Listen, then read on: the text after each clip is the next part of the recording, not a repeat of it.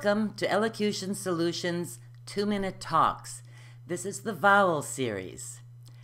This is in this series we are focusing on vowels that are often difficult to say for people with foreign or regional dialects. And today we're going to talk about the vowel O, as in old. O is a diphthong. This means that it's a combination of two vowel sounds. It starts with the lips slightly rounded and the tongue halfway raised to produce the O sound.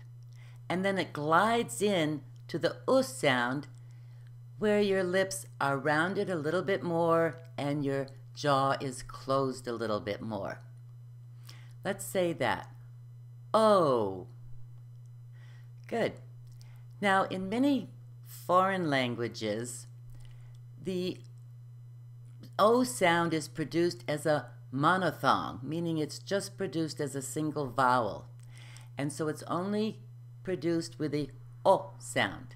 And then the word go sounds more like go.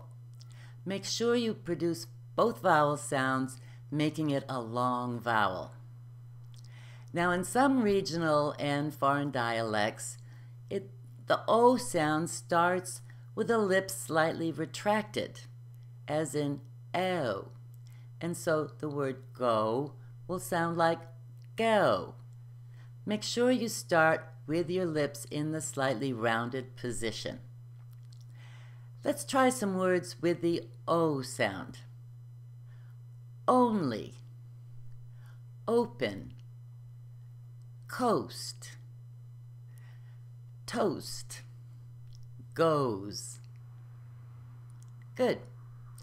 Now, more practice for this sound and much more can be found in our video download books, the Elocution Handbook, or the Vowel Workout.